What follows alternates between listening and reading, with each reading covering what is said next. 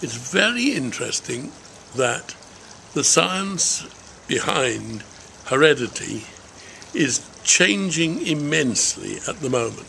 It's changing in the following way. Until about 1956 or thereabouts, it was generally believed, and this is in general the folklore around today, that the all members of a species had much the same genetics, except for a few that, that had mutations. And these mutations, differences of genes, were relatively rare. So most of the genes that most of the, the, the species had in common were what made them one species. Now, when Lewontin started to measure, actually to look at the genetics of real organisms in the 1970s, he developed a way of doing this that didn't require breeding them. Breeding animals is enormously tedious to find out their genetics. What he did was to withdraw fluids and look at how many versions of different proteins there were.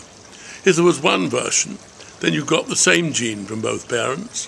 If there were two versions, then you got a different gene from your mother and your father. You can see that. Now, that was fine, except that he found that 10% of our genes were heterozygous. Heterozygous means you get a different version from your mother and your father.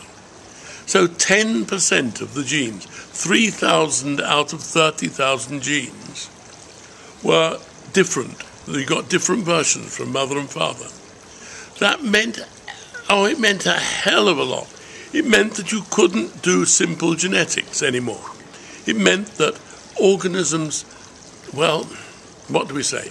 It meant that a lot of obvious things became very puzzling.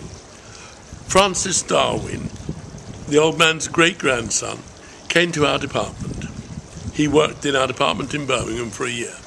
He looked exactly like the old man, the same ears, the same stub nose. He looked exactly like the old man. But he had only a sixteenth of the genes of the old man. Think about it great great grandson.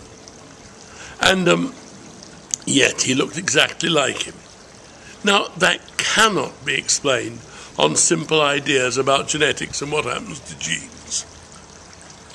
What we must remember is that genes are only 1% of the genome. The genes, the protein specific bits of the genome, the bits that sp- specify which proteins are made, are only 1% of the genome. In between is lots of stuff that used to be called junk DNA, but which we now know makes RNA, which controls all of the all the things that go on. The controlling stuff is the important bit. The genes themselves are much less important.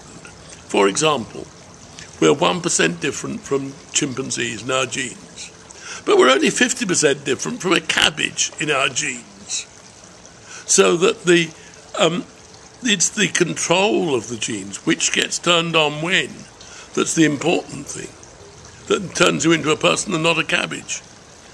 And that is something we know very little about. We're finding out about it, it there's uh, probably 100,000 papers a year on epigenetics. Now perhaps 50,000 100,000 it's it's an enormously active field. But what that means is that it's impossible to say simple things about it. Come back in two years.